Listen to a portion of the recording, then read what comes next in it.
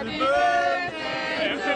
sweet 16 celebration turned into chaos. These were the accidentally invited guests. Around 3,000 turned up to party in this tiny town of just 18,000. They were met by hundreds of riot police. The birthday girl and her family had already been forced to flee their own home, but the revellers refused to go. More than 20 were arrested and others injured.